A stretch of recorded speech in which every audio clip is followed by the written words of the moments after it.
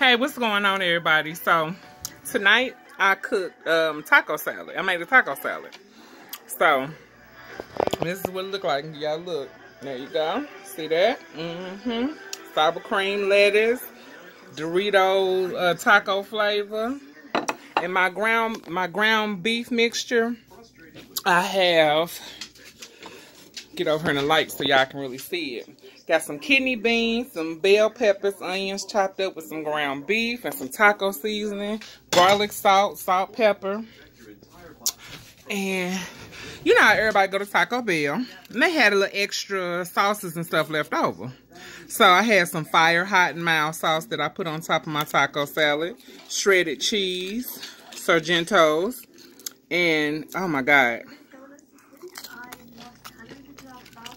It is so good. Try it. Easy meal to make.